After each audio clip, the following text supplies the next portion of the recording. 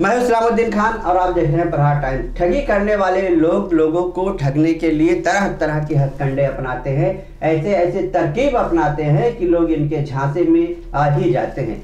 कुछ ऐसा ही मामला सामने आया है अकोला में, जहाँ एक व्यक्ति ने पुलिस में अपने ठगे जाने की शिकायत दर्ज कराई है। दरअसल आरोपी का नाम नदीम अहमद है, जो छोटा मुबीनपुरा बालापुर का है। नदीम ने एक शख्स से संपर्क किया, उसे तीन लाख की मांग की और उसके बदले में उसे पाँच लाख रुपए देने की बात की, जिसके बाद नदीम ने उस शख्स को बालापुर के शहर के बाहर बुलाया और नदीम ने उस व्यक्ति से पाँच लाख रुपए असली नोट ले लिए और उसे एक थैली में सौ सौ के बच्चों के बैंक के नकली नोट दे दिए। पैसों की अदला बदली करने के बाद जब उस व्यक्ति ने घर जाकर थैली खोली तो उसके होश उड़ गए, क्योंकि थैली में जो बच्चों के लिए खेलने वाली नोट, बच्चों का बैंक, उसके सौ सौ के नकली नोट के बंडल थे, जिसके बाद इस शख्स ने पुलिस में शिकायत दर्ज कराई। शिकायत के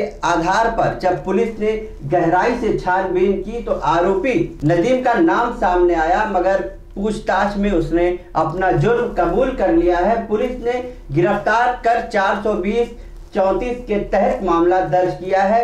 ये पूरी कार्रवाई पुलिस अधीक्षक एम राकेश कला सागर अपर पुलिस अधीक्षक विक्रांत देशमुख, उप अधीक्षक नीलेष देशमुख, पुलिस निरीक्षक कैलाश नागरे और उनकी पूरी टीम ने मिलकर किया है। तो तमाम खबरों को जानने के लिए देखते रहिए प्रहार टाइम्स।